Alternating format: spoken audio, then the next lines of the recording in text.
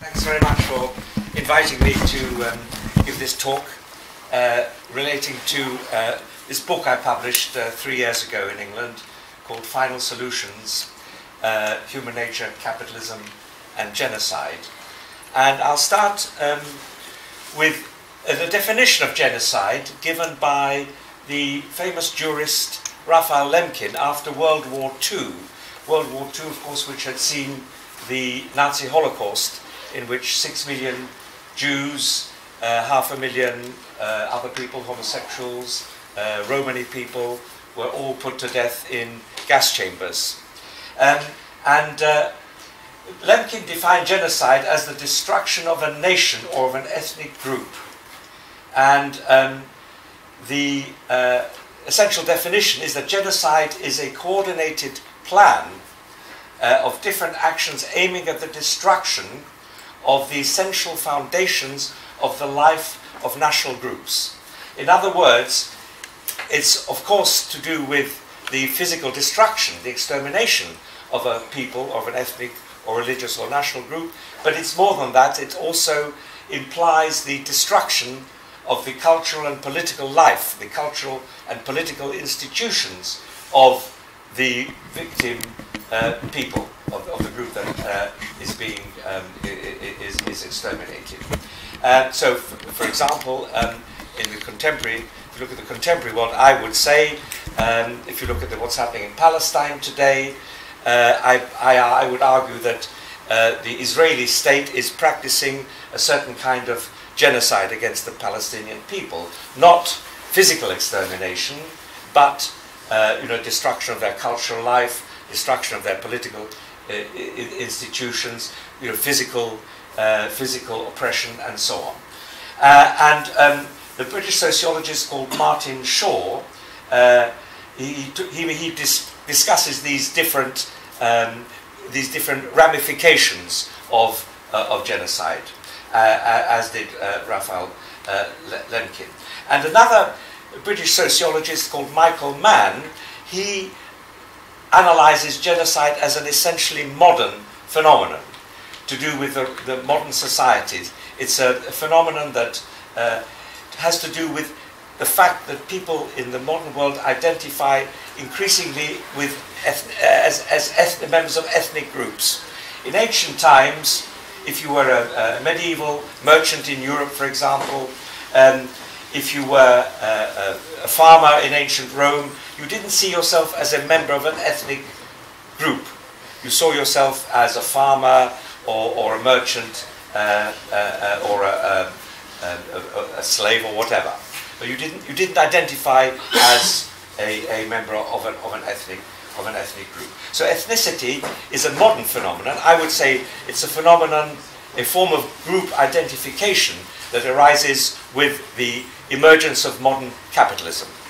Uh, Europe, of course, modern capitalism emerges in the, in, the 16th, in the 16th century. It arises with nationalism and the nation state. So, you know, if you look, for example, uh, what happened in the former Yugoslavia in the, in the 1990s, or what happened in the Soviet Union. So, people, uh, those states broke up, and people no longer saw themselves or not, didn't primarily see themselves as members of the Soviet Union or as Yugoslavs. They saw themselves in Yugoslavia as Croatians, Bosnians, uh, and, and, so on. Um, and uh, yeah, uh, and uh, of course, in the uh, in, in ancient times there were many wars. Um, there were many wars and there were massacres of citizens. But the massacres of these citizens, for example, when the, the Greeks invaded uh, and destroyed the city of Troy, or the Romans invaded and destroyed the North African city of Carthage. So there were, there were massacres, but these were different from the modern, uh, from the modern phenomenon of genocide.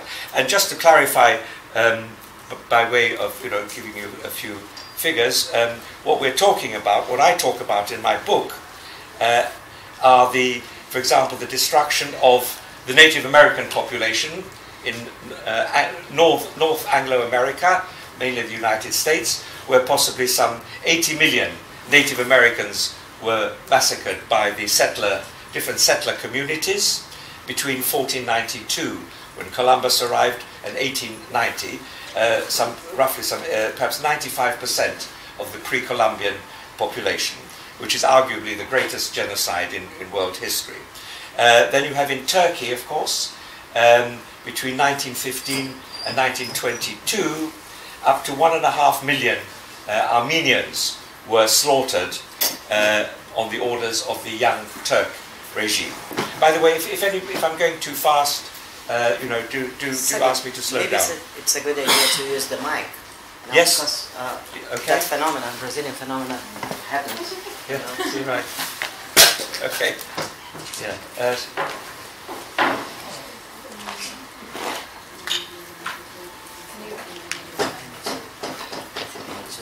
okay. Yeah. Uh, yeah. Okay. So just. Uh, is it, is it on? It's okay. Is it okay? Yeah. Hello? Yes? Is that No? Hello? Hello? Is that better? Just speak. Yes? Ah, yes. It's Hello. Ah, yeah, that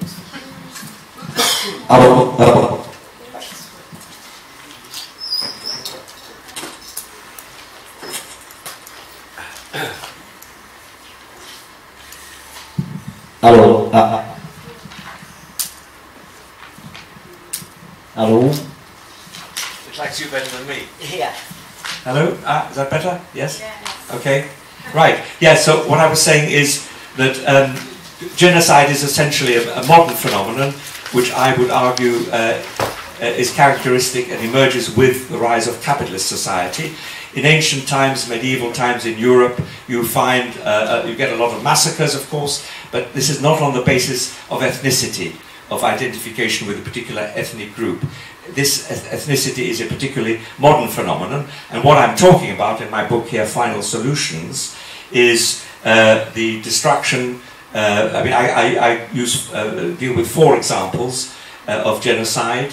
Um, one is the destruction of the Native American population in um, Anglo North America, the United States, where some 80 million Native Americans were exterminated by the settler uh, population uh, coming from um, the, mainly from the UK, but also from all the other what's today the UK, uh, but other European societies as well. Uh, we're talking about the destruction of up to one and a half million Armenian people by the Young Turk regime who controlled the Ottoman Empire, um, roughly between 1915 and 1922. Uh, during the Second World War, of course, the Nazi Holocaust, which I mentioned at the beginning, which six million Jews uh, were murdered, but also tens of thousands, uh, possibly up to half a million uh, uh, Romani people, gypsies, homosexual, homosexuals, and uh, mentally ill people were murdered in a systematic program of industrial genocide. And then, more recently, of course, 22 years ago, nearly, you had the Rwandan uh, massacre uh, in 1994, in which 800,000 uh, Tutsi people were slaughtered by the Hutu people in, in Rwanda. Um, and in the 20th century alone, uh, over 70 million, 70 million people have been killed through ethnic conflict. And that's uh, a figure that uh, has dwarfed uh, anything um, uh, uh, comparable in, in, in, in previous centuries. Okay, so um, of course in the ancient world, in, in, in the feudal, medieval feudal world in Europe, you have wars, you have massacres, um, but uh, you, you, you won't find anything comparable to modern genocide in the sense in which uh, I've, I've, I've tried to describe it uh, in, in, in terms of eth- ethnic identification and ethnic conflict. Um, yeah, so um, what I also um, try to analyze in, in my book is what I've described as the distinction between, in quotes, rational genocide and irrational genocide. Now, you know, that's a paradox to use the word rational genocide. But what I mean by that is something very specific. When I use the term rational genocide, I mean a program of mass murder that actually benefited the perpetrators in economic terms, in political terms, and, and, so on. For example, um, in the 1930s, in Stalinist Russia, the Stalinist regime uh, murdered some uh, 12, 10 million of the better off or the wealthy kulak farmer class. And they did it because the kulak farmers resisted Stalin's program of rapid industrialization. The Stalinist regime had decided to industrialize in 10 years. The, the, the reason they did that, they took that decision uh, because they, they were convinced that there would be another attack from the West to destroy the Russian state. Um, and therefore they had to industrialize, and to industrialize, they had to build up urban centers very rapidly, and they had to transfer uh, agricultural resources, mineral resources, from the countryside to the cities. The farmers resisted this, and so there was a program of extermination of the uh, Kulak farmers. Now, this was a terrible, a terrible part of, of, of the history of, of, of Russia. And uh, I would argue myself there was an alternative which was being put forward by the revolutionary Marxist Leon Trotsky, which I haven't got time to go into. He argued for a different policy uh, uh, uh, uh in contrast to rapid industrialization. But nevertheless, what Stalin did was to build Russia up into what then became you know, the second most powerful industrial uh, military state. From a, you know, having been a poor, backward society with a majority of people being peasants, it became the, the second most powerful uh, uh, industrial state, you know, towards the end of the 1930s, um, uh, uh, uh, and therefore was able to resist the, the German army invasion, um, you know, which would not have been possible had Stalin not industrialized and created a powerful industrial military state in, in, in the 1930s. So that's, if you like, rational genocide. Um, and uh, compared to uh, what I describe as irrational genocide is the Nazi Holocaust. The Nazi Holocaust in which you know, six million Jews were murdered in gas chambers. Um, I, if I have time, I'll go into that in a little more detail later on. But just to mention at this stage, uh, see the, the Nazi leadership uh, overran the Soviet Union in, in, in 1941. Uh, they thought they would capture Moscow and Leningrad, as it then was, within a matter of weeks. That didn't happen. They came up, they didn't, they didn't capture Moscow, they didn't capture Leningrad, they came up against the increasingly stiff military resistance of the Soviet Red Army. And then they began, the Red Army began to push the Germans back. At that point, the Nazis, the Nazi leaders, having used anti-Semitism throughout the 1930s as a key instrument of policy, they, they decided that the Jews were to blame. You know, completely crazy, kind of pathological thinking, that the Jews were to blame for the fact that the German army was being pushed back. And so, you know, what they thought was they decided to, you know, to round up all the Jews of Europe, put them in death camps and put them to death. Uh, this, would, this would solve the problem. So, uh, and th this was completely irrational, simply because in order to carry out this policy of mass extermination, mass genocide, genocide of the Jewish people of Europe, they had to uh, gather, all, you know, transfer economic resources instead of devote that, you know, devoting their economic resources to, uh, to, you know, to waging war against Russia you know, that, that diverted all these resources to rounding up the Jews of Europe, building, you know, gas chambers, uh, and so on. Massive program. You know, you can imagine, uh, uh, uh, you know, an economic, what's involved in a program of, of, you know, rounding up millions of people and putting them to death. it's, you know, it's, it's huge. So completely irrational, completely crazy, from the point of view of their own objective military interests. So anyway, that's the difference between rational and irrational genocide, as I see. And, as I said, these four examples that I deal with in my book uh, are, uh, uh, these four examples are, are, are, the ones I've described as irrational genocide. Um, yes, uh, and the, the, the, case of the Native Americans is, um, uh, in, in, my view, is a, um, is a mixed example, uh, again in the sense that the settlers, the colonial settlers who arrived from you know, Scotland, Ireland, England, uh, other European countries. They slaughtered, as I said, some 80 million Native Americans. And this was, I think, a, a combination. It was partly rational, partly irrational. It's a, it's a, a, a kind of halfway case. They needed, they wanted their land, um, and so they pushed them out of their land. They destroyed their villages. But was it necessary to exterminate the whole population from their own point of view? And, and the problem was that, you know, later on, historically, when they set up, for example, cotton plantations, you know, the, the settlers, they needed labor. So they destroyed, they had destroyed their own source of labor.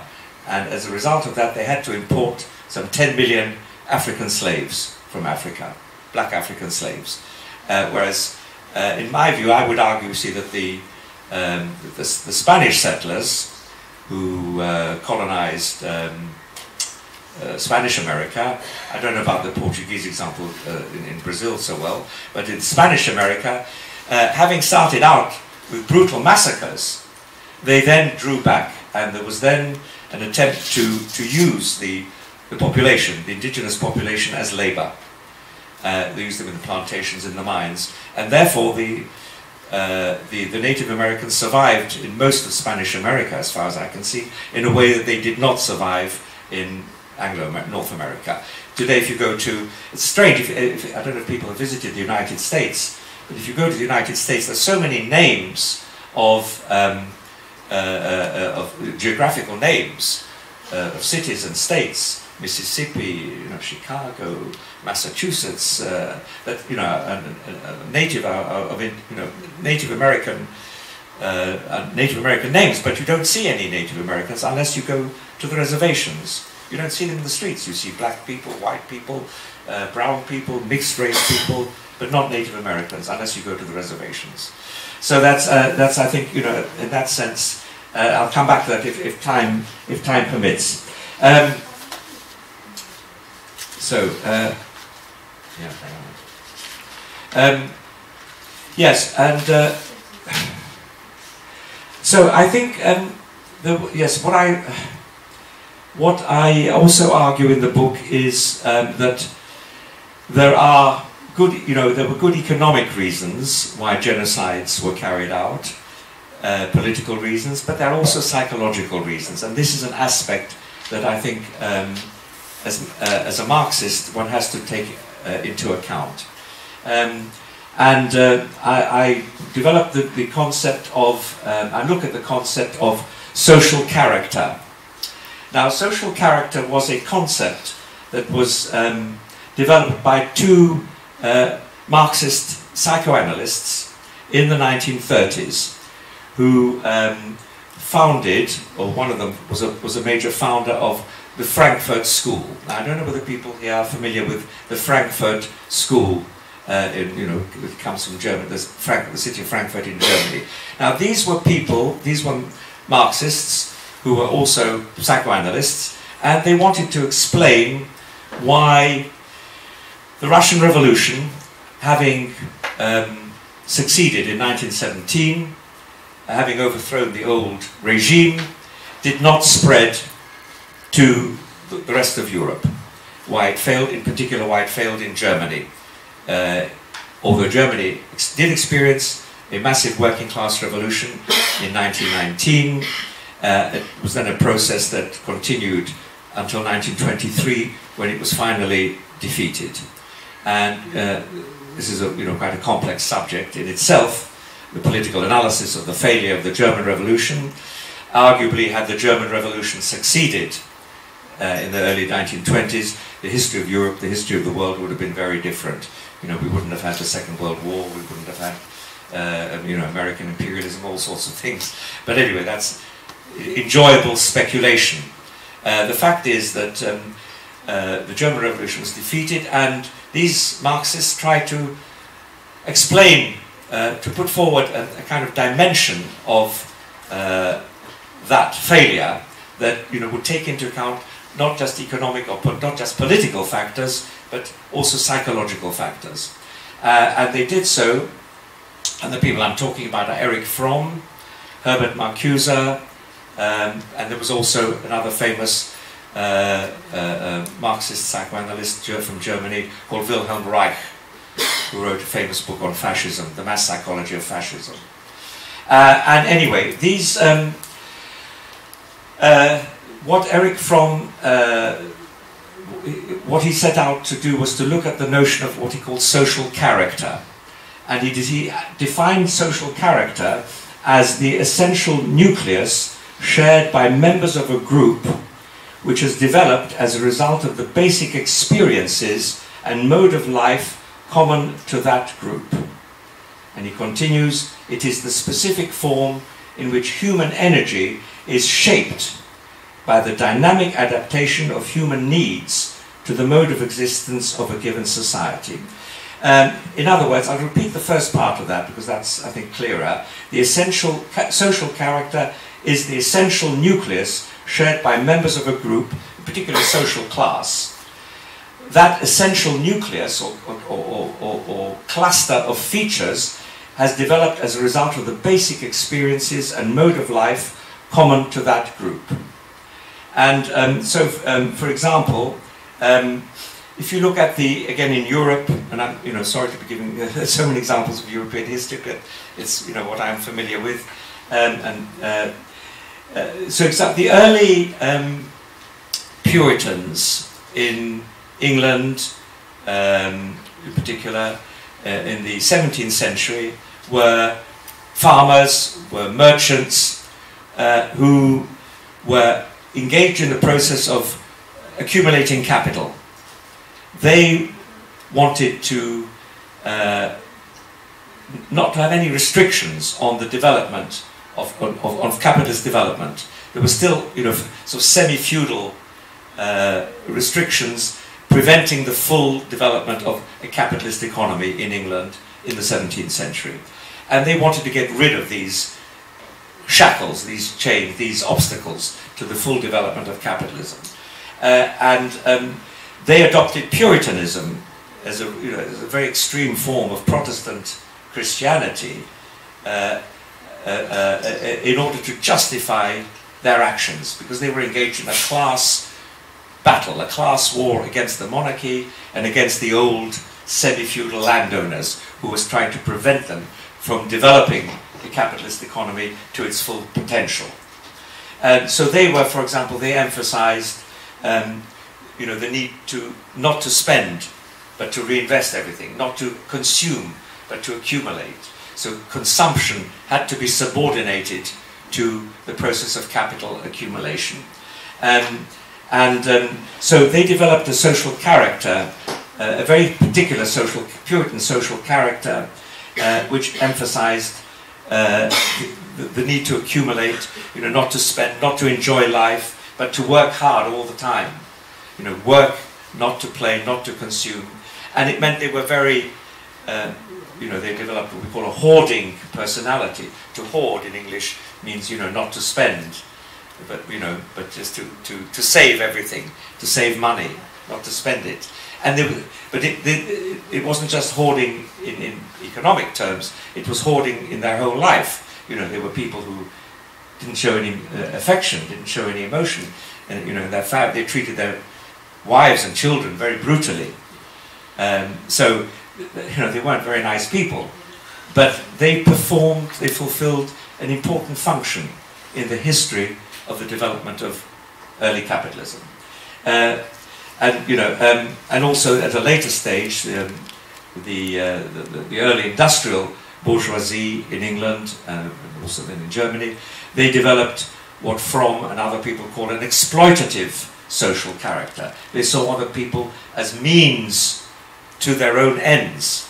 They would use other people rather than seeing other people as ends in themselves. So this is, again, you could say this was a necessary feature of um, early industrial bourgeoisie who saw, you know, poor people, peasant farmers who had to, you know, go to the cities to find work.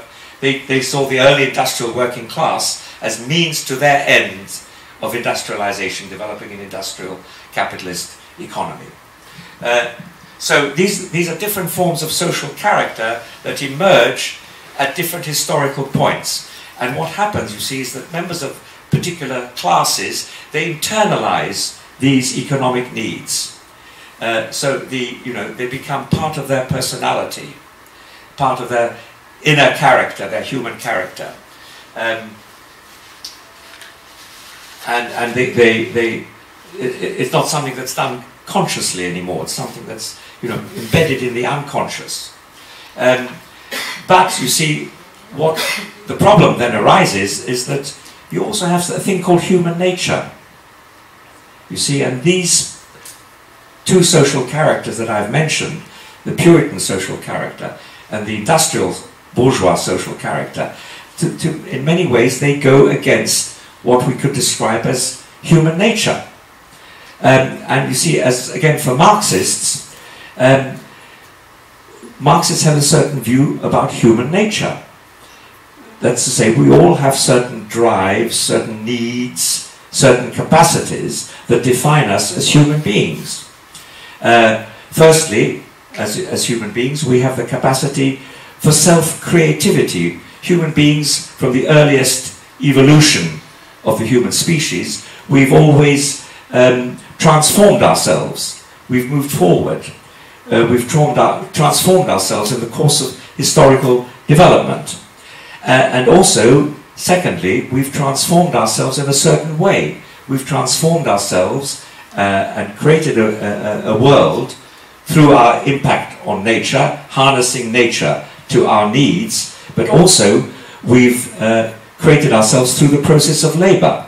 Human beings operating collectively through social production have transformed nature and transformed themselves, their own nature. Uh, and uh, therefore, uh, we can say that you know that uh, uh, we are essentially social beings who've, who've created, self-created, created ourselves, and moved forward historically through the process of labour. And we, as I say, we conclude from this that we are essentially social beings. Uh, and human nature is constituted by, is represented by, uh, and is found in the links that we create with each other in the process of transforming nature. As I say, both external nature and our own human nature. Of course, uh, Marx also speaks of what he describes as relative appetites. Relative appetites. Uh, these appetites, relative appetites, are not part of the essential uh, human nature that I've just mentioned. They're not part of ourselves as social beings, these relative appetites, but they owe their origin to certain social structures and certain conditions of production and communication, uh, as Marx puts it. And Marx attacked um, the English philosopher, there was an English utilitarian philosopher in the 19th century called Jeremy Bentham. Uh, and he attacked Jeremy Bentham for taking the modern shopkeeper as the normal man. He said, Jeremy Bentham said, the English shopkeeper, you know, that's how people are or should be, you know, just wanting to sell goods and make money and so on. And Marx said, no, no, no, this is not uh, how human beings are in their essence. Uh, in other words, um, uh, uh, the way human beings are shaped by certain societies, and he's looking at kind of a capitalist society, represents uh, alienation from, a departure from our essential potential as social beings. Uh, so our nature as social beings isn't always realized in reality. It isn't always actual, but it always exists as a potential, even though capitalist society and even earlier pre-capitalist class societies uh, forced human beings to depart from their early nature through the different forms of exploitation uh, and commodification of human beings uh, that, um, for example, capitalism represents the different forms of, uh, of uh, competition, exploitation, commodification. These processes uh, mean that that human beings are, are not fulfilling their potential as social beings. They are, uh, they are commodified, they're alienated from their potential uh, as social beings who can create a society in which we help each other, uh, look after each other, and, and, and so on. Are we doing for time? Yeah, okay. Yeah. Um, so, um, and then just come back for a moment to uh, uh, the analyst I mentioned, the writer I mentioned, Erich Fromm, uh, and he sees the different kinds of social character that emerge in different kinds of societies. Uh, so, you know, and uh, in, in, modern society you have the exploitative character, the hoarding character, uh, uh, and so on. But also you have uh, another even darker kind of character that has emerged in certain societies at certain times, and what he calls the destructive character. The destructive social character, which emerges um, as a result of the repression or the frustration uh, of our drive to life, uh, the frustration that, uh, that emerges from our isolation or powerlessness or the exploitation that human beings undergo in, in, in, in, in this society, uh, in, in capitalist society. Um, so uh, that also he's saying that our basic psychic needs, the need for, you know, to relate to other people, the need for unity, uh, the need to be effective as human beings, uh, this, these needs can be met in one of two possible ways. They can be met, these needs, human needs, can be met in a productive way, or they can be met in a destructive way. Uh, they can be met in a productive way through people expressing themselves in you know different forms of solidarity, uh, productive work, helping other people, or they can be met through destruction. Uh, uh, in certain societies, at certain times, at times of crisis, for example, human beings express themselves through destruction, um, and or through through sadism. Uh, right, um, and, and that's of course where where where uh, genocide, where genocide, where genocide comes in. Um, so yes, just to come back briefly to the uh, example of the, the English Puritans. Um, as I said, the English Puritans were the uh, rising bourgeois class of farmers and merchants uh, who were extremely repressed and authoritarian people. They were disciplined, uh, they were pious, uh, and these were, as I said, useful features being very disciplined, uh, you know, being very religious. These were very useful character features uh, for the process of capital accumulation. Uh, and as I said before, consumption had to be subordinated to accumulation if the Puritans were to succeed in laying the basis for the new capitalist economy. Uh, the Puritans, however, suffered uh, oppression, political oppression, at the hands of the Protestant state in England in the 17th century. Um, the Puritans uh, were uh, um, they, uh, they they tried to deal with this by uh, developing an ideology according to which they were members of God's elect. But as I said, family life was brutal, and they were full of rage and full of hostility towards you know, towards each other, towards their families, and so on. But they couldn't admit to these feelings of rage and hostility. Otherwise, the guilt would have been unbearable. So they projected these feelings outwards. This is, you know, what often happens to us as individuals, uh, as well as in groups. That we, we, we have feelings that we cannot accept, so we suppress them, we repress them into the unconscious, as, as you know, Freud, Sigmund Freud, uh, analyzed or we project them outwards onto other groups. We see other groups as being full of the rage and the hostility that really is in us.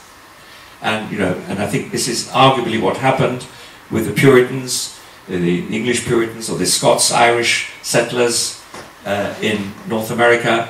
When they settled there, they, uh, they, they, they, they, arrived full of rage, full of hostility, uh, and uh, they had a difficult life as well you know, settlers in a, in a in an un, unknown country, but you know they were confronted with the Native American population.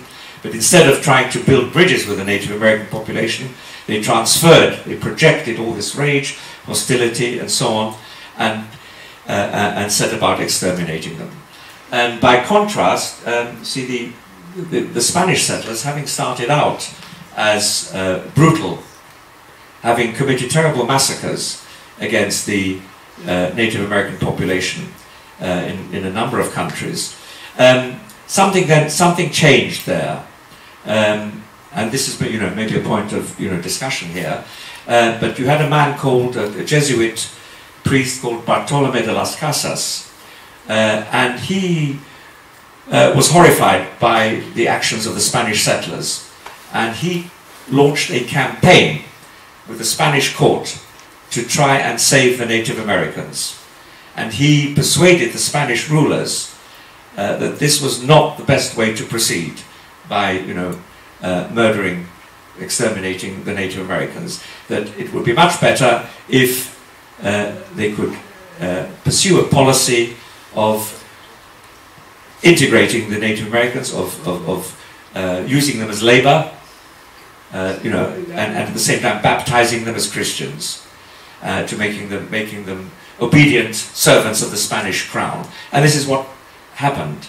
That um, the policy changed, uh, and they were the, the, Native Americans were, um, you know, were used as, as, as proletarians in the mines.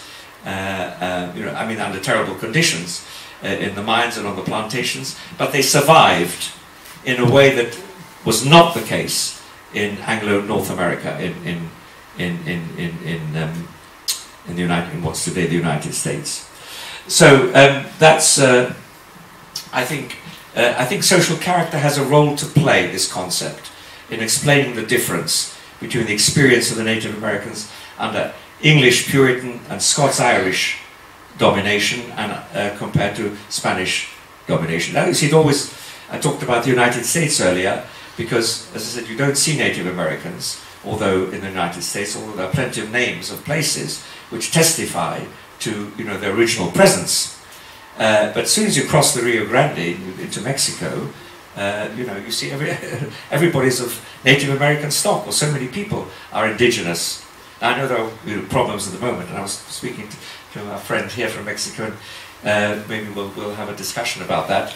But you know, I'm talking really about you know what happened originally. Uh, of course, at times of economic crisis, things change, and um, you know, in, in, uh, we see in, in, my country, in the United Kingdom, uh, you know, there's, there's a emergence, growth of racism because of the you know influx of Syrian refugees today. So things can change at times of economic crisis, political crisis, and so on. Uh, I want to just to turn now, finally, to um, uh, the second example of genocide uh, that I want to deal with today, which is the Nazi Holocaust. And um, here uh, we're looking at what happened in Germany, um, beginning uh, the, roughly from the, the, the, the last quarter of the 19th century until the, first third of the 20th century, uh, Germany industrialized very rapidly.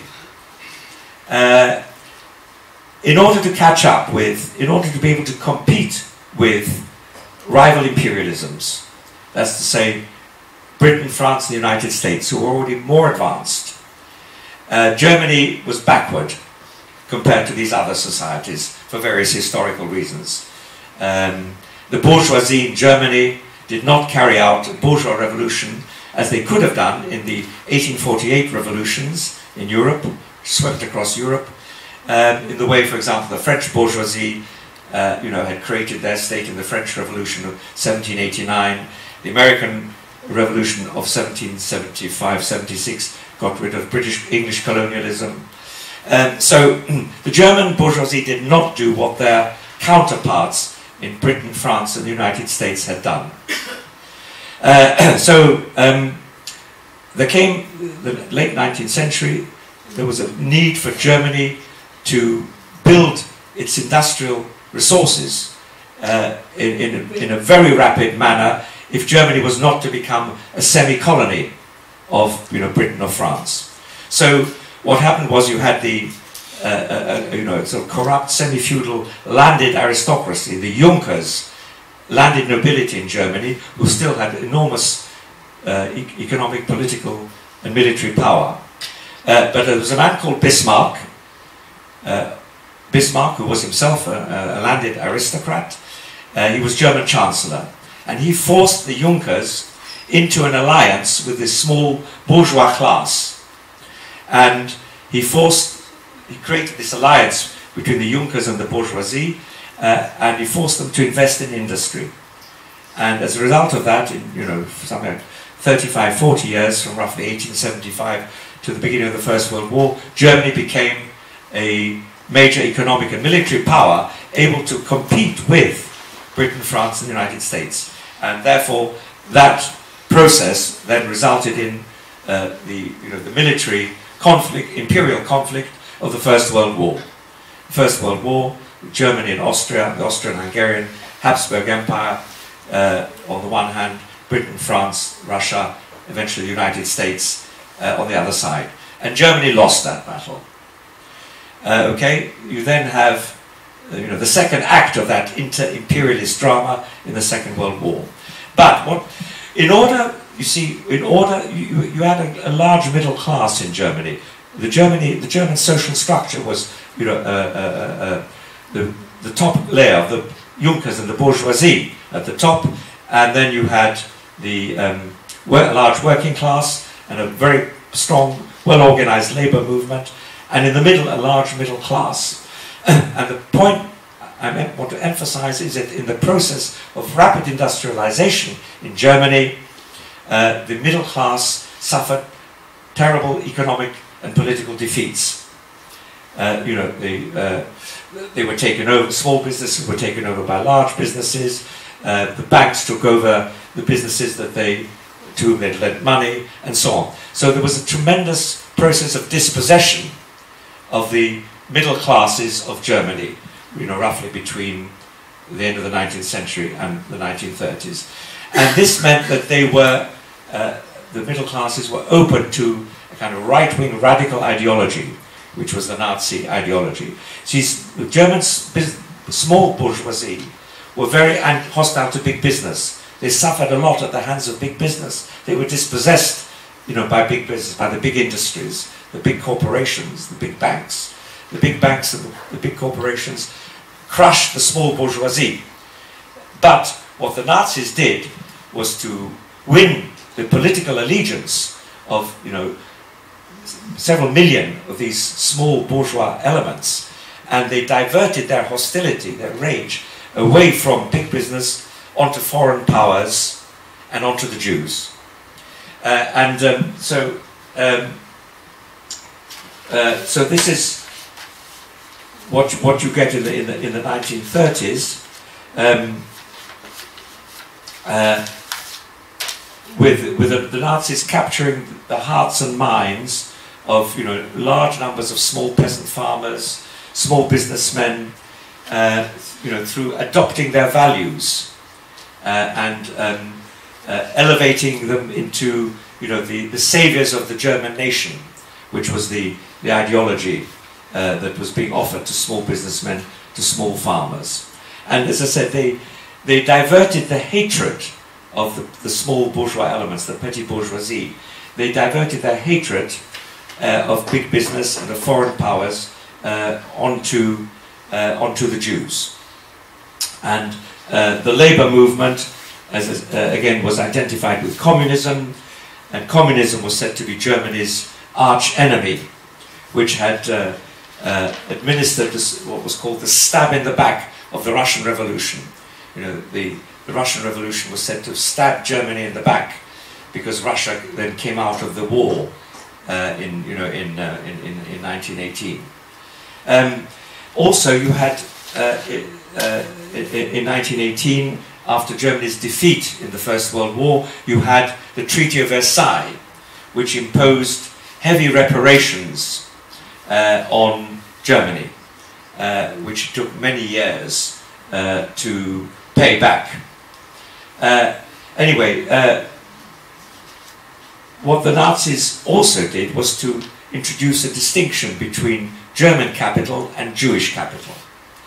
So German capital, even German big business, was said to be okay, was good, to be respected.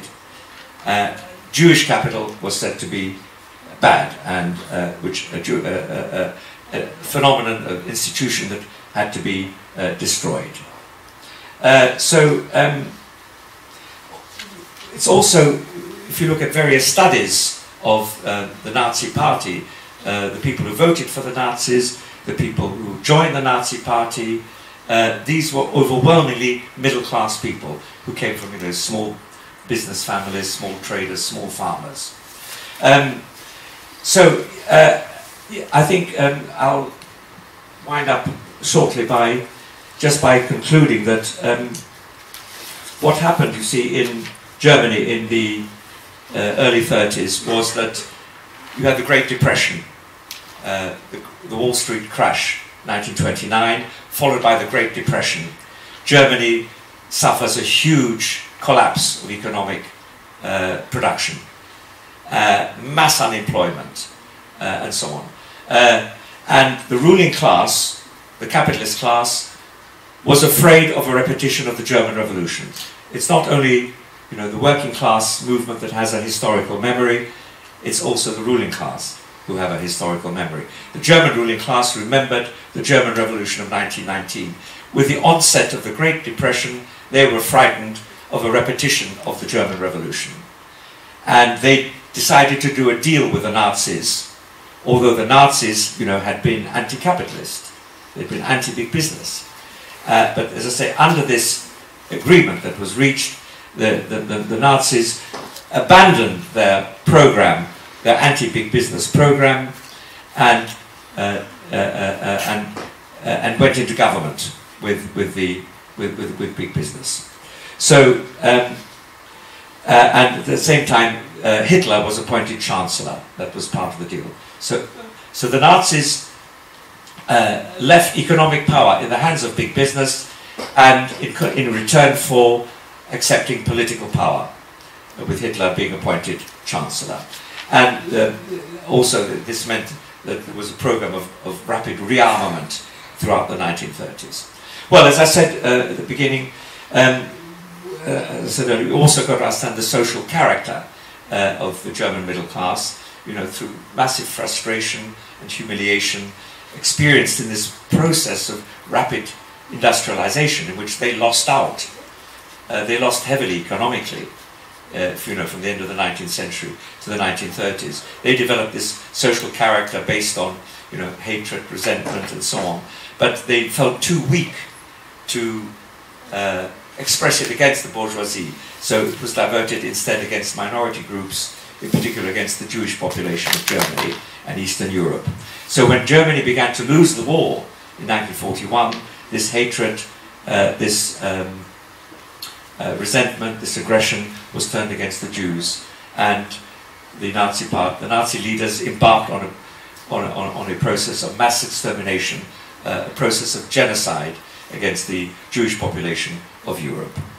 Um, of course, I should just mention that uh, uh, that the left in Germany failed to unite. Had the left united in Germany, the Communist Party and the Social Democrats, they were very strong because it was a large, well-organized working class.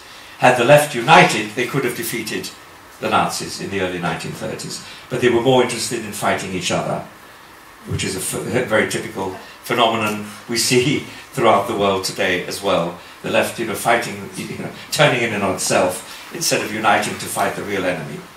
Uh, and um, so, as I said, the evidence seems to be that Hitler and the Nazi elite decided to proceed with the, what's known as the final solution, the destruction of European Jewry, once the war turned against them, uh, as you know, completely in a completely pathological uh, turn of you know pathological um, uh, notion that um, it was the Jews who were responsible for the um, for the, the the war going against Germany.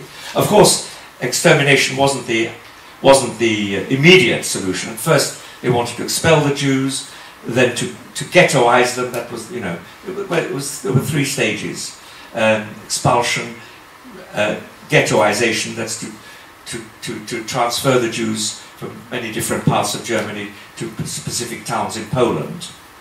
And then finally, they, decided to, uh, to uh, exterminate them. Uh, so I want to just to conclude by saying that really um, all these genocides uh, are, in the final analysis, the product of uh, capitalist society, the exploitation, the alienation, the commodification that is characteristic of capitalism, particularly in its you know, periods of crisis or economic downturn. In the case of the, the Native Americans, I think it was the, you know, the terrible economic and political conditions suffered by the, uh, the perpetrators of that genocide, the, the Puritans and the Scots Irish, um, uh, and that really uh, we want to see, if we want to see a society that uh, has does away with this kind of this level of human destructiveness. Um, not that you know we, could we might we might be able to create a perfect society, but a society that minimizes human destructiveness certainly eliminates the possibility of you know mass exterminations of other human beings. That eliminates genocide. Then I think we have to think in terms of a post-capitalist society, a revolutionary society, which means, uh, I believe, a socialist world society in which the working people who create the wealth uh, are also the people who uh, dominate and run that society. That's to say, the majority uh, of humanity. Anyway, thank you very much for coming and for listening.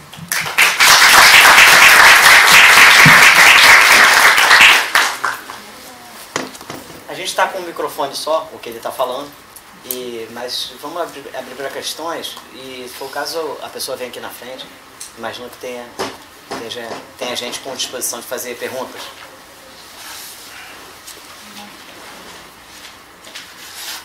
Vai primeiro. Júlio, você quer chegar aqui, por favor? So will you translate or? You Yeah, going to speak in yeah, English? Yeah. That's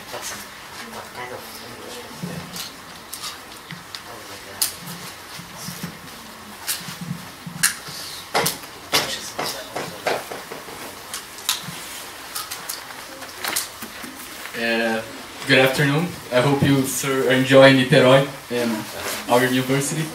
Uh, what I want to what I want to question you is about genocide specifically, specifically because you sir said that genocide is a modern event, not an ancient one. But when you when you spoke of uh, some examples of genocide, I was thinking to myself, well, what about when the Crusaders were going to Jerusalem, try to conquer the city, and in their passing through Europe, they were ex- uh, exterminating and persecuting Jews. And well, I mean, why that isn't exactly an, ex- an example of genocide? I mean, maybe it's not as systematic, systematically as Nazi, Nazi one, but I mean, it's a form of genocide. Thank you. Thank you. That's, that's what you want to take several.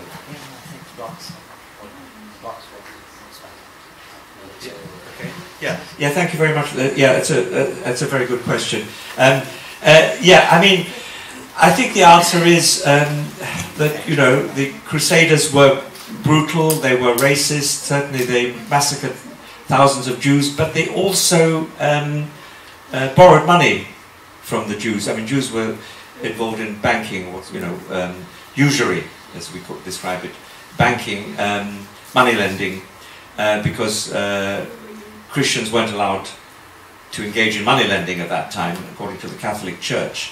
So Jews were the main source of, uh, of, finance for the Crusaders, as, as, as, as, for other merchants. So there was a, a, a limit to what the Crusaders, you know, wanted to do in the way of, you know, murdering Jews. Certainly, they murdered, um, you know, many dozens or hundreds of, or, or, or even thousands of Jews. But in, in England, in Germany, on the way to the Holy Land.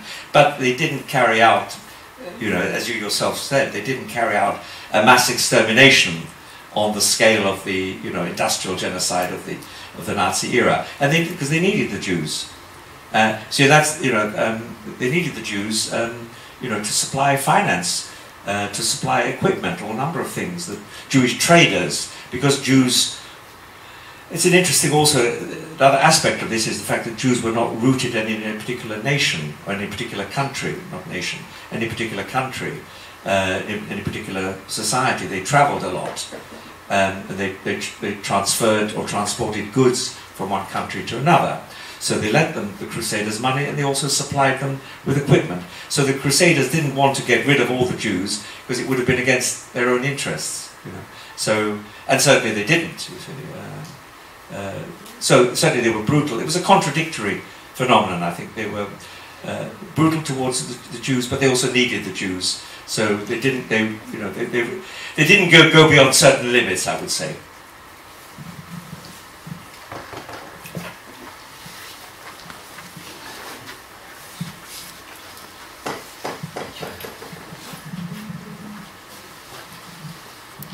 Well, good afternoon. Um, well, thank you for the exposure.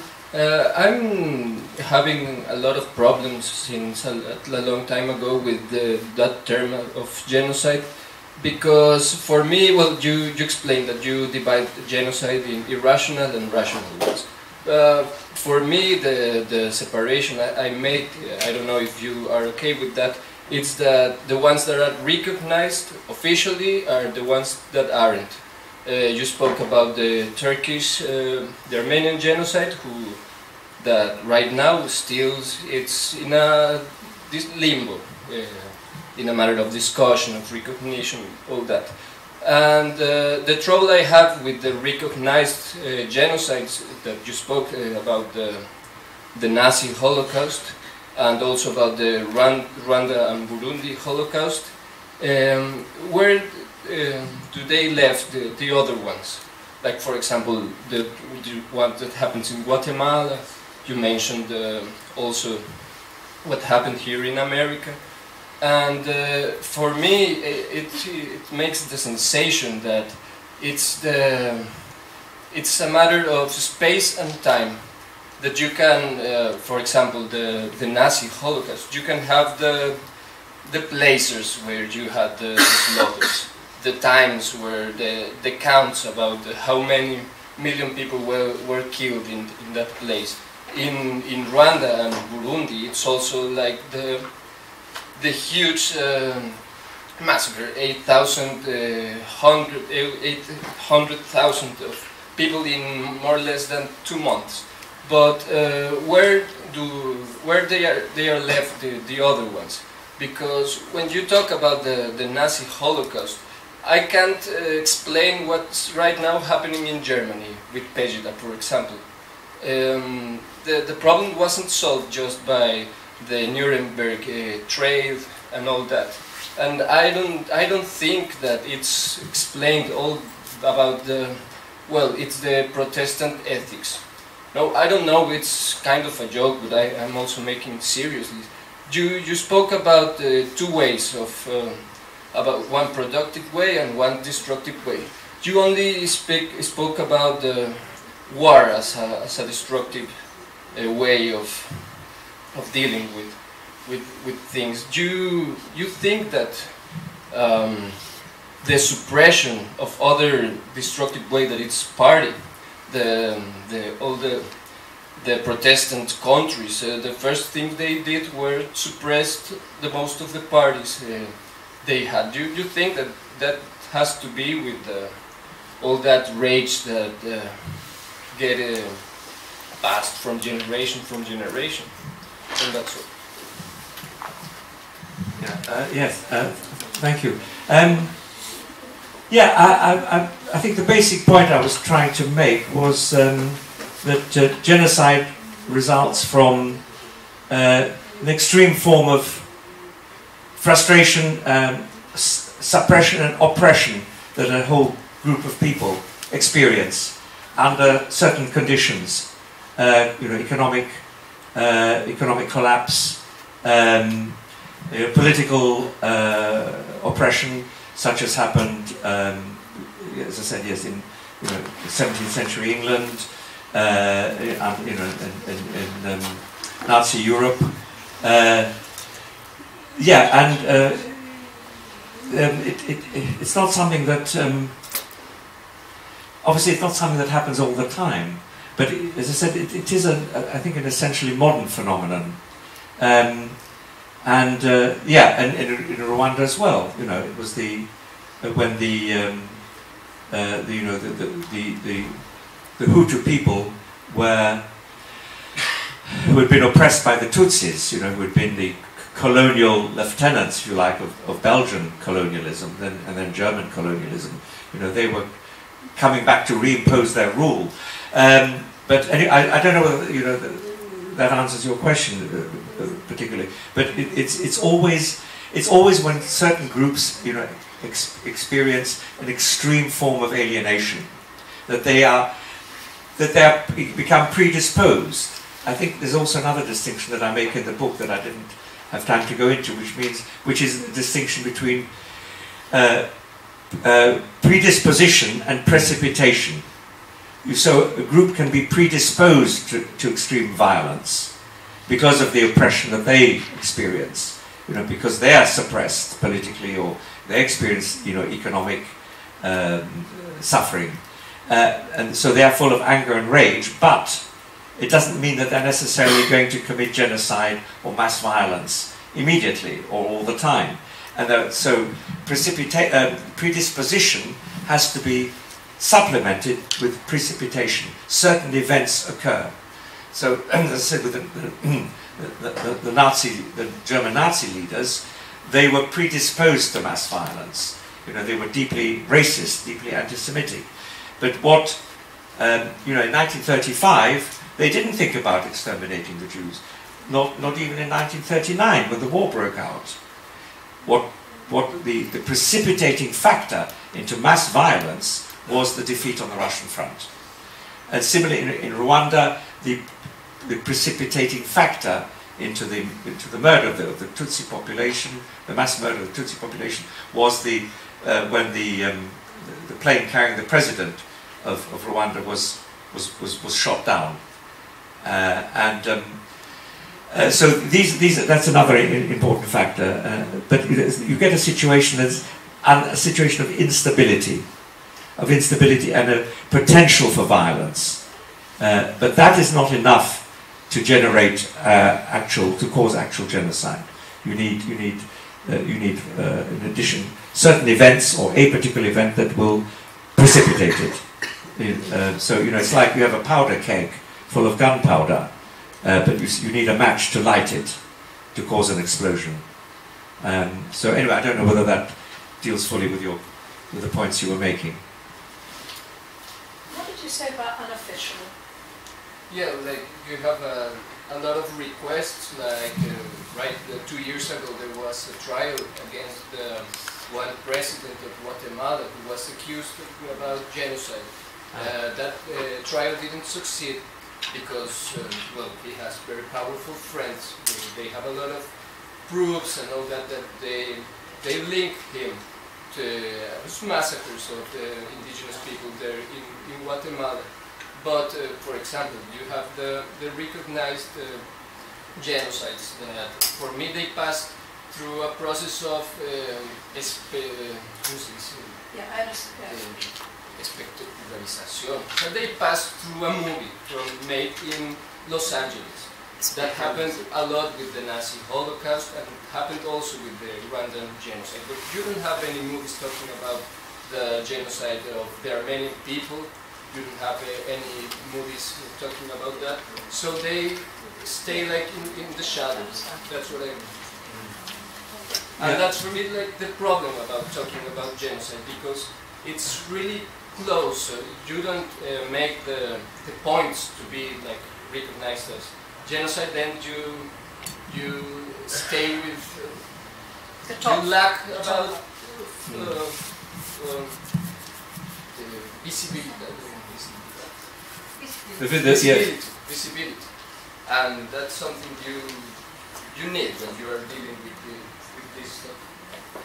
Right. Yes. yes also, yeah. Thank you. Thank you for pointing that out. Um, I, am not familiar with the events in Guatemala. Um, I must. I must admit. Um, but uh, yeah. But certainly, uh, uh, it's you know it's our duty whenever things like that occur. You know to you know activists have to publicize what happens and have to organize. You know to uh, overthrow and, and, or bring to justice the perpetrators wherever they can.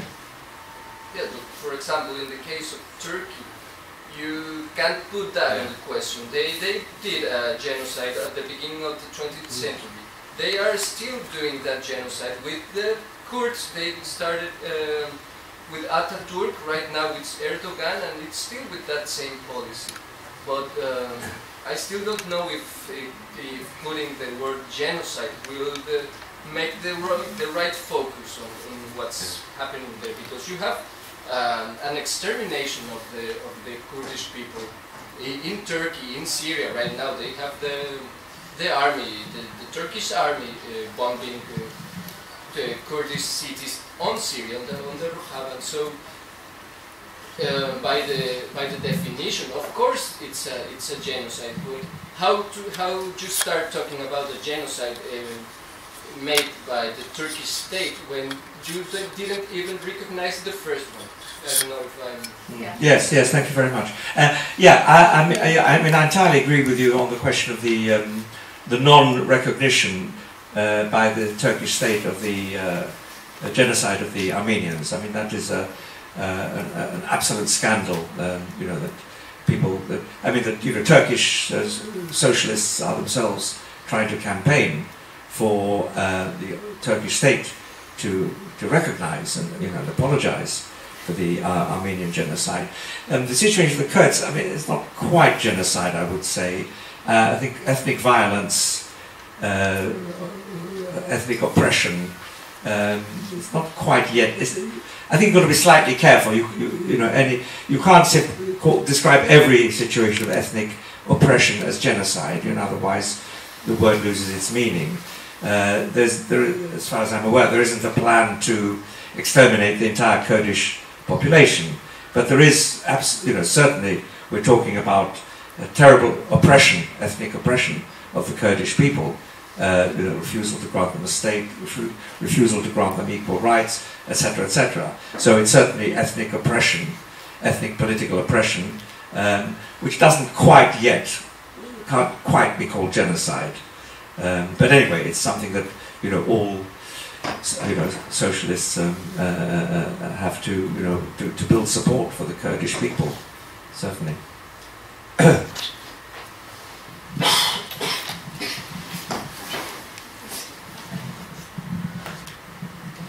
She's going to try to. Yeah. Okay.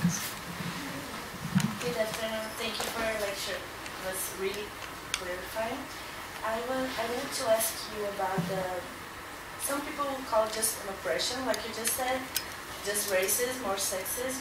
But here in left, we have this discussion about young black people genocide by the police.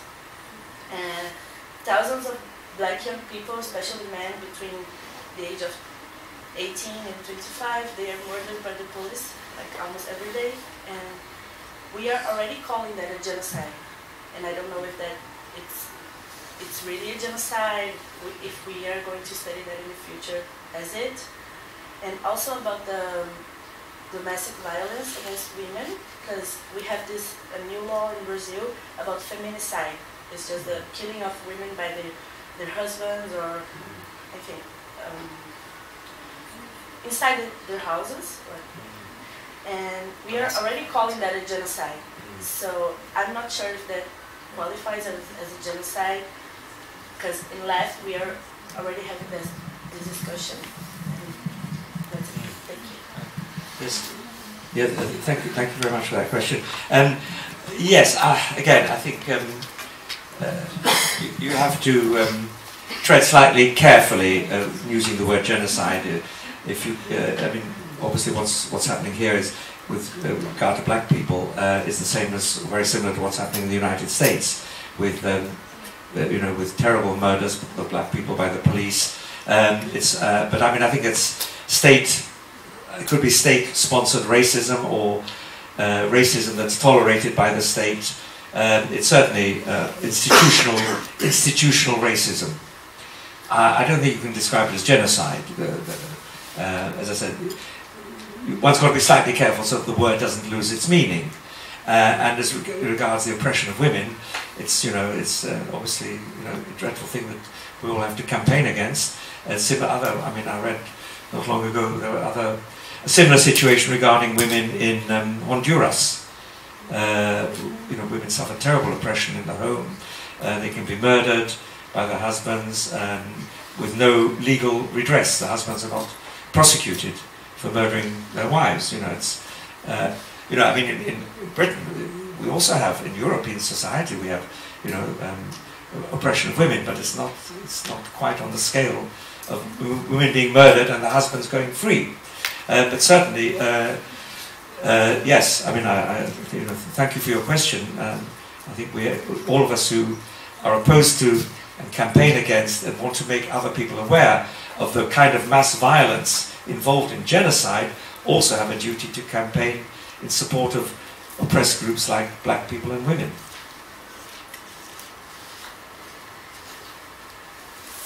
Uh, I can stay here.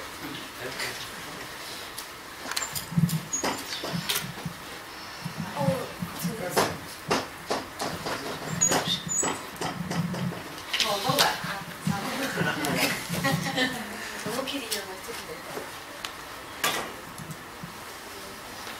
Well, um, when Joel talked to me that you were interested in Mexico, I think that you were interested in the actual sit- uh, situation of Mexico.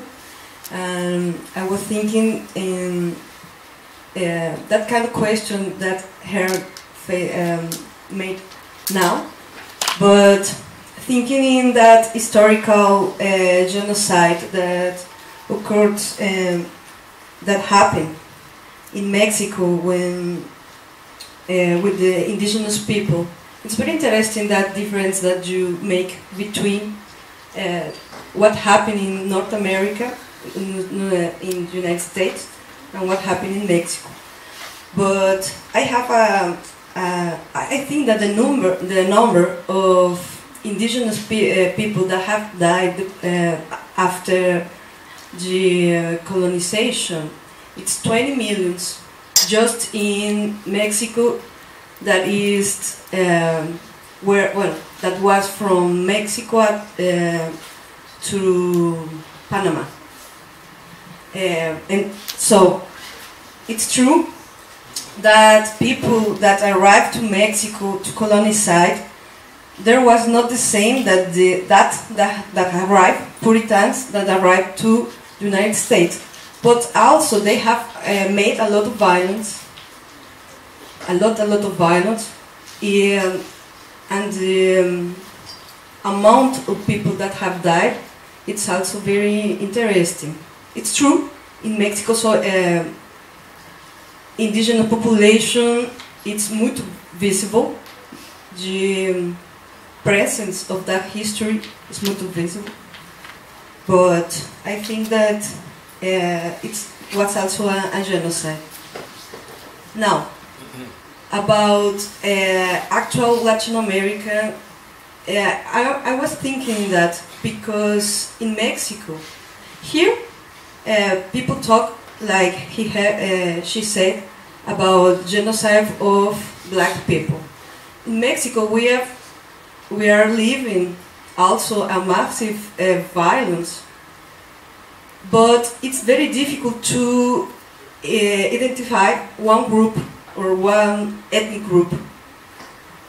Uh, we have um, since 2006, I think that it's more than 2,000 of violence deaths, more than 16 missing people we have a systematic uh, murder of journalists, students, uh, children, women, um, social activists, and a list. It's the list is very very long, but it's this kind of heterogeneity.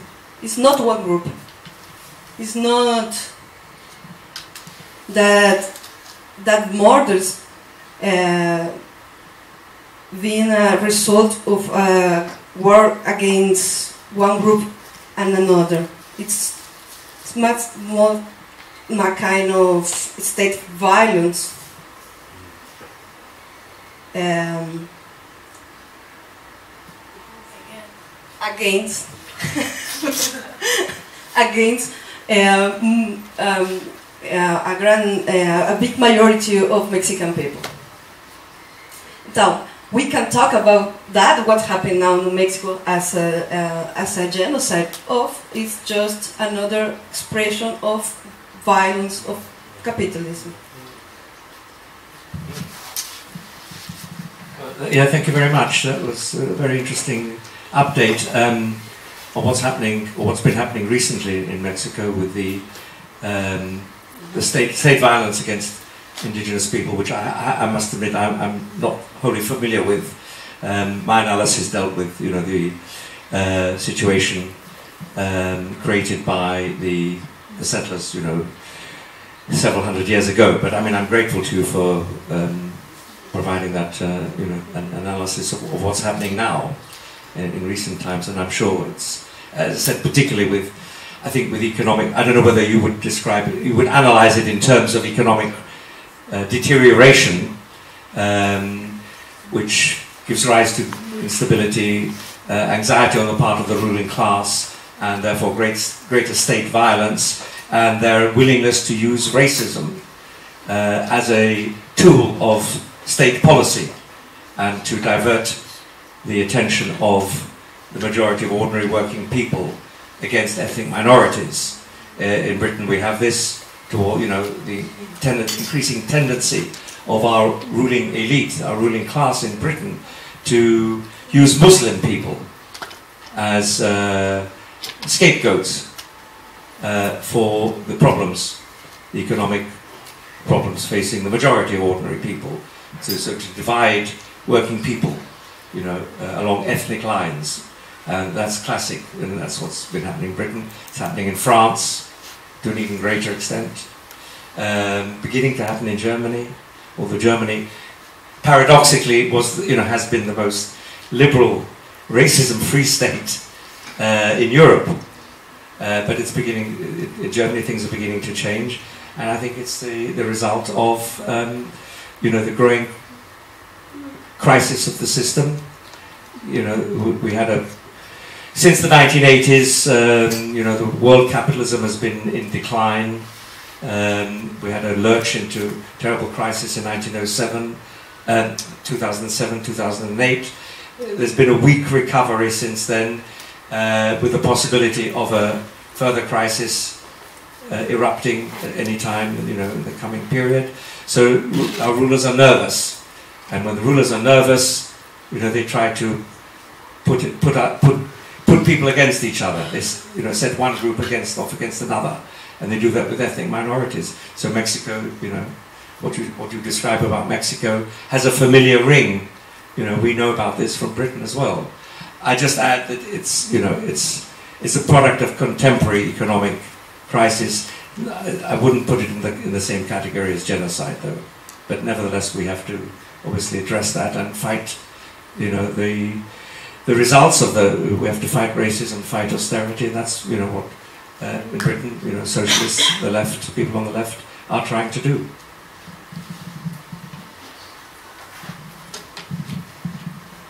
I myself have two questions. Yeah. The first is, the, is, is about the relation between genocides and slavery is not genocide a solution when slavery is not possible? This is the first direct question. Um, for instance, it would, it would be impossible, uh, in my opinion, for Germans to make uh, Jews slaves in the Second World War, during the Second World War. So uh, the, the genocide showed up as a, a more adequate solution for uh, this kind of uh, psychological and um, uh, repressed hatred against Jews. So this is the first question. The, the second has to do with the difference between uh, patterns of colonizations uh, in the North America and, and the Latin America. And I was uh, thinking about a very kind of typical argument on this issue that is related to the to the fact that the expectation um, of colonization in North America uh, involved, and the plan of colonization involved involved a figure which was the settler. Uh, and then the, on the other hand, the, the type of colonization of Latin America evolved the, the figure of uh, exploiter. So, uh, and it has to do with the, the, the fact that they, they found metals um, immediately, for instance, in the, or at least signs of, of metals uh, immediately in, in, in, in Central America, but not in the U.S. Uh, or in the in the North America in North America in general. So uh, it means that uh, for the settler, the, the main issue is the con- private control of land and not of people. People is useless in this case. And on the contrary, uh, for those who are aiming to exploit goods, be them metals or not, the main issue is controlling people. Otherwise, they would have to bring slaves or workers from, from outside. So doesn't it make make the, make a difference in the, in the in the case you are doing? Uh, yes, thank you. Thank you very much. Uh, well, that, that's uh, yeah, that's, that's certainly an important question, and I'm not sure that there's a fund makes there's a fundamental difference that enables us to explain why the Native Americans were exterminated in North America, and um, uh, in contrast were integrated and proletarianized in, in the rest of Latin America. Uh, because the, the, the North Americans settlers, they needed labor. Um, they needed labor, and as I said, they, uh, the, uh, there came a time when, yeah, to begin with, they needed land, but later on they set up plantations. Now, maybe they didn't need as many Native Americans who were there, but uh, certainly there was, as I tried to analyze it, uh, uh, in my view, a strong element of irrationality in the way they exterminated uh, all the, the virtually the entire Native American population, after which they had to import slaves black from Black Africa because they needed labor. Uh, whereas in um, in Mexico, Central America, and so on, where there were, met- you know, as you say, they were metal. They used Native Americans in the mines, but they also set up plantations, didn't they, uh, for cotton, tobacco, uh, other commodities, similar to that. So uh, I'm, uh, unless I haven't quite understood your question, um, there doesn't seem to me to be a fundamental difference arising out of, uh, you know, the distinction between um, you know, metals and plantations, but I don't know whether you want to come back on that. Yeah, I can. I'm- I'm saying that the immediate uh, aim of uh, taking taking control of land, in, uh, of course, uh, causes a reaction if there is a population living in this land, and uh, the fact that the uh, the uh, the, the, the, the taking over uh, of the land itself and of and transform and, and the effect of the process of transformation of the land into private property implied the immediate uh, genocide of native population. Uh, uh, uh, but of course, this causes a uh, uh, ultimate effect you, you described, the need of importing slaves. But this comes after after the, the, the, the, land is in, in control of rulers, settlers, in fact. Uh, on the other hand, in, uh, in, in to the south, uh, the immediate need was taking control of people in order to exploit things as, as fast as possible and uh, um, taking metals and uh, wealth in general to Europe. So this created a, a kind of indirect relation to the to, to the to, to the land itself. I mean, uh, controlling land, of course, was uh, an important issue from the beginning, but not the uh, primary uh, issue in this case. So uh, what I'm trying to, to, to what I'm, I, I was thinking is that uh, this can be a, a, a factor in the explanation of uh, the difference in the relation between uh, colonizers from uh, in the north and in the south. And I was uh, thinking that uh, this resembles uh, the relation you said, you, you talked about, you, you described in the case of the Crusaders and their relation to the Jews. Um, uh, uh, the natives in, in Latin America and to the south of the, uh, to, I mean, uh, those who were colonized by Portugal or Spain, were uh, the, the, the colonizers were in need also of those people, but not necessarily for the type of colonization that was in, uh, initially implied and adopted in the north. Um, there, there was no need for those people, so that that's basically what why they were killed in the first place, in my opinion. Uh, and uh, uh, adopting this the same line of reasoning, uh, we could describe the the uh, relation of imperialist countries to colonies in new colonialism, for instance, in the la- late 19th century. Um, in, in some cases, there were uh, clear genocides uh, adopting the the uh, standards you are uh, you are using to, to, to, to find the words. But in other cases, not. And what makes the divide is exactly uh, the need or not of uh, working people to work uh, in horrible conditions as uh, slaves or not. Uh, so th- I'm, I'm trying to make a, a clear Marxist point in this, in this, in this issue. Yeah, yeah, yeah. Thank you. Um, yeah, so, uh, well, just coming back to your first example of, of, of Germany and the Jews, certainly, um, I think we, that's a clear example of you know complete irrationality. Uh, obviously, the, the, um, I mean, they, they did. Yeah, Jews were used as slaves in, in, in the camps until they were exterminated, uh, and you know the progression of uh, of different policies towards the Jews uh, followed really the fortunes of the German army in the war. Um, but there's about the different patterns of colonization. Um, I mean, uh, certainly if you look at in, in, the, in the 17th century, uh, when the uh, when, when the, we had the first waves of, of, of immigration from Europe, uh, from, from, from the, the British Isles to, to North America, um, at that point the, the, the main need was, was land. Um, but uh, later on, I mean, the 17th century, you're talking about the setting up of massive plantations uh, and the growth of the farms, uh, and, and, and uh, both of these giving rise to growing need for labour.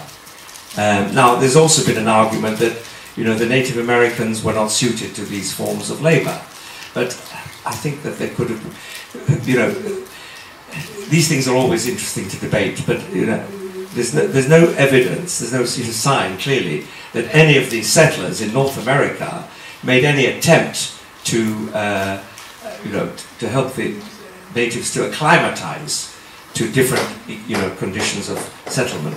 They, they didn't didn't attempt to proletarianize them. They didn't attempt to integrate them into their landed economy, into the agricultural economies. Um, but there was a clear need for labour, and um, uh, I, I, I just think that uh, you know an alternative was possible. I just think it wasn't inevitable that they should be exterminated. Um, otherwise, you know, then it becomes a very kind of pessimistic kind of analysis. Uh, no, it doesn't mean it's wrong, you, you know. Uh, but I just think, um, you know, uh, that uh, that that um, some accommodation could have been reached had the uh, you know had the settlers, the European settlers, you know, adopted different attitudes towards the Native Americans. Uh, but uh, what I've been trying to argue simply is that they weren't able to adopt different attitudes to uh, the, the, the, the, the, Native Americans. They, they, didn't see them as human beings. You know, they saw them as half, hu- uh, half human and half animals. You know, they were savage beasts, wild beasts, you know, that, that were dangerous, you know, they had to be eliminated. Um, and instead of seeing them as, as uh, uh, you know, they, they, didn't even think of as enslaving them. Uh, but then, as I said, then, they had a problem, you know, that they needed labour. So then you had the other terrible atrocity uh, of the you know the 18th and 19th centuries, uh, which is slavery on a massive scale. Uh, when um, you know uh, there was a possibility, and you know I'll put it no stronger than that, there was a possibility, potential for an alternative solution. Um, and what I've been arguing, um, uh, you know, we can debate this some more, is that uh, the reason they weren't able to see that alternative as a possibility. The alternative being, you know, the uh, the, the, the, the integration of the Native American population, or the attempt to begin to integrate the Native, uh, Native American population into their communities, into their uh, economies, their rural economy, that that was, you know, in part at least, wasn't only for economic reasons, but it was also, um, you know, because they had a certain mentality, they had a certain, they had a certain outlook, uh, and you know, they had a, which then became genocidal. Uh, I don't think, um, uh, yeah, I mean, certainly you, you get this in all settler colonial societies, this problem. What to do with the native population? You know, in South Africa, um, uh, in South Africa, they did use them as labour, the black, the black population. Um, uh, you know, uh, from, you know, from the, from the very beginning of, of European settler, um, the European settler um, communities, um, 19th and 19th, 18th, 19th centuries. They used them as labour. They didn't think of exploiting them, uh, of, of exterminating them. Uh, Australia, they did ex- uh, exterminate large numbers of the Aboriginal population. And again, I think um, completely irrationally. And if you look at what's happening um, in Israel, as I mentioned briefly earlier, so um, there's been systematic ethnic cleansing of the Palestinian population. Uh, again, it's completely irrational uh, because um, you know there could be a much better solution consisting in the integration of the Palestinian Arab population into this Jewish-Israeli society uh, in an attempt to work out some kind of uh, you know joint joint national binational whatever dual community society uh, which would eliminate you know a lot of the anxiety a lot of the um, you know a, a, lot of the violence um, and just you know create a much better much better world for all to live in. Um, but you know I think this is a I think you know you're right to point out this is a a problem that affects all settler colonial societies. You know what to do with the native population? Uh, for the most part it's um, ended up in violent solutions uh, ethnic cleansing um, I think this, the, example of, of Spanish America is, is in this sense um, unusual. Uh, but again, you had in France with you know the Algerian problem, um, the, the French uh, with Algerian independence, the French settlers left Algeria and came back to France.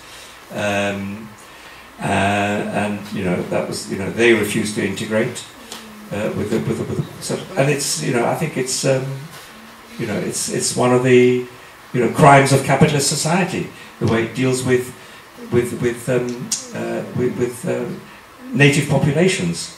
It, it can't see them as human beings. It either super exploits them as in South Africa or it uh, exterminates them as in the United States Australia or it ethnically cleanses them uh, you know as in Israel. So you know disaster all round Let's do the la- let's do the last one. Otherwise it takes Okay, too I think there was another question there. There's another one? Yeah. Ah, so the rest. Yeah, okay. How are we doing it? Um, hello again. Yeah. Uh, my question is more theoretical. I mean, theoretical. Yes, exactly. Uh, what exactly in modern time? I mean, you, you sort of basically said that genocide is a product of modern civilization, if I'm not wrong. And I mean more specifically about the way of capitalism, capitalism, how people live in a capitalism world. And I mean, what exactly there is in capitalism specifically that didn't have, for instance, in Roman civilization that considered themselves as civilization, the rest of, or bar- barbarians, or feudalism when we had settlements that did not communicate well with each other. And I mean, why exactly cap- capitalism created this meaningless of life that other times did not create? Thank you. Yeah, thank you. Um, yeah, thanks for that. I uh, yes, uh, as I tr- tried to explain, I think pre-capitalist societies could be barbaric and could engage in mass violence against different groups of people, um, but it's not the same phenomenon as, as modern genocide, in the sense of the ethnic destruction of whole groups of people that are identified by the perpetrators of violence as belonging to a different subordinate group. So in the Romans, yes, the Roman, Roman ancient, the ancient Greek Roman world, you know, as I said, the Greeks murdered a lot of um, people, the Trojan population, uh, the Romans murdered a lot of the Carth- Carthage, members of the Carthage population. Uh, but these were these were acts carried out um, in spontaneous acts of mass anger, um, and in the case of Carthage, to prevent Carthage developing as a rival to Rome, as an imperial rival to Rome. So these are different phenomena. I'm not saying they're better or worse necessarily. They are, you know, they are horrible, brutal examples of brutal mass murder. But it's not genocide in the sense of a plan or an invisible intention to exterminate an entire ethnic group. That's a, sp- specific uh, phenomenon which is characteristic, uh, I would argue, of modern capitalism, uh, simply because it's modern capitalism defines groups of people uh, and encourages them to define themselves as members of ethnic, different ethnic communities. Ethnicity is, is a modern phenomenon, and that's why genocide is a modern phenomenon, I think. What Um, about capitalism? What is it specifically? Capitalism, yes. Uh, well, capitalism is because it's based on the exploitation uh, and oppression of the majority of the people. Uh, it's also based on the commodification. It sees people as the creators of uh, exchange value in Marxist terms. It sees people as the creators of uh, ordinary working people as the uh, as the creators of profit of, of, of value that you know that things that can be exchanged for profit. And therefore people themselves are seen as commodities. To be human labor becomes a commodity to be bought and sold on the labor market. And therefore people are seen uh, as commodities as things.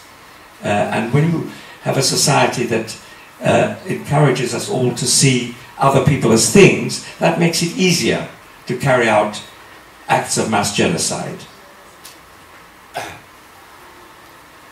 Was it- question. Uh, it's about the so-called Want to use the mic? Oh, yeah, sure. Uh, my question is about the Islamic State, the so-called Islamic State. Um, so um, they could it be considered genocide because they want to implement the Islamic laws, and in that law, every all the religion would be considered punishable by death. So could it be considered a genocide, an ethnic, ethnic, ethnic society genocide? Uh, thank you. Um, interesting question. Um, important question. Uh, uh, I don't think it quite fits. Uh, yeah, the question is whether um, the, in, the stated intention of Islamic State uh, in the Middle East, in Iraq and Syria, to eliminate members of other religious groups uh, can be considered uh, as genocide. If they carry it out, it comes close. It comes close to genocide, yes. It could possibly be included because it's the, the intention to eliminate, uh, or, or the, act, the act of eliminating an entire religious group. It could be. Yes, you're, you're right. Whether they'll actually do it is another question. I suspect that you know it, it won't happen. It won't be possible for various reasons. Um, uh, but yes, if they were to, to carry it out, it would be genocide. Yeah.